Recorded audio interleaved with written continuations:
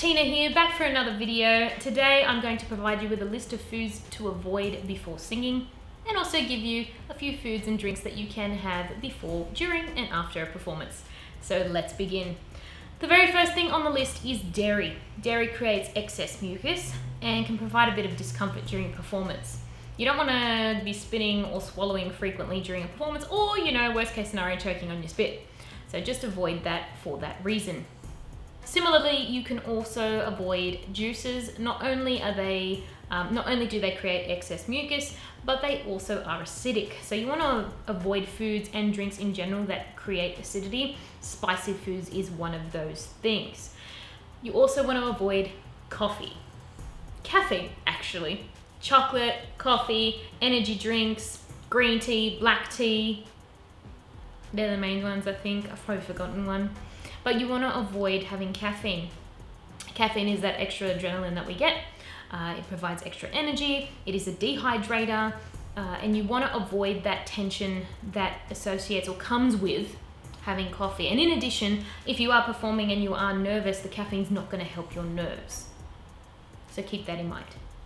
The other thing that you want to avoid is cold beverages or iced beverages, simply because it's very similar to, and this is something that I tell my students, when you, if you imagine putting your hand in a bucket of ice, what happens to your hand?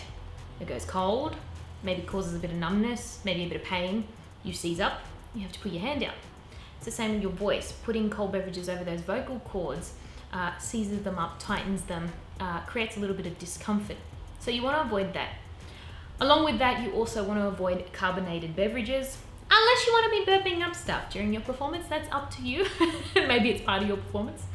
Uh, but if not, you do want to avoid that. These are kind of the more, uh, I guess, common foods that you want to avoid. Obviously, high saturated uh, junk food, you know, I don't want to name any brands, but just think of fatty and oily foods. You want to avoid those because you don't want anything heavy. When you learn about vocal technique, you realize that you do actually use your stomach muscles and you're breathing quite a fair bit, that it ends up kind of imitating a, an accordion kind of movement you really don't want that happening uh, during a performance with, you know, burgers and chips in your stomach. Not a good idea. These are some of the things that you want to avoid. And of course, I hope it's obvious, but avoiding smoking and alcohol.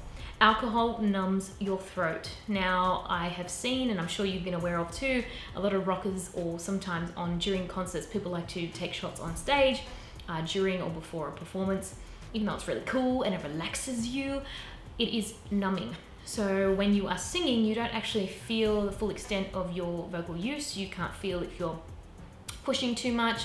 It just numbs it. And it's even worse if you've got a sore throat and you take a shot to numb it because then you don't know to the extent of what you're using your voice to. So it's not a good idea. Be very careful as well when it comes to lozenges and sprays. Sometimes they can have numbing agents in them. Just be very careful. Look at the back of the packet. It will say numbing agent and or alcohol. So be aware of that. Some of the things you want to kind of have to help instead are things like uh, room temperature water, pH neutral, hydrating, keeps your voice warm and lubricated. You can have tea and specifically herbal tea because it's got no caffeine in it, soothes the throat. And one of the best things you can have is honey. Honey is a great antiseptic, anti-inflammatory, inflammatory uh, food and is great for the voice and because of those properties. Plus it tastes really nice. Just be very careful when you're purchasing your honey. Make sure it is real honey. Uh, honey Farmer once told me that you can actually tell if you're purchasing real honey by squeezing a little bit at the bottom of a bottle, filling up with water and swirling it around. If it's real honey, the shape at the bottom of the glass will actually imitate a honeycomb. And I found that hard to believe until I tried it, but it's actually true. Uh, non-genuine honey will not make that shape. So just be aware of that for your own self.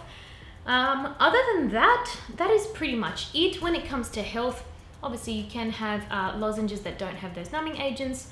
Uh, you can have nasal sprays, preferably that aren't medicated, unless of course it is necessary for you and a doctor has prescribed that to you.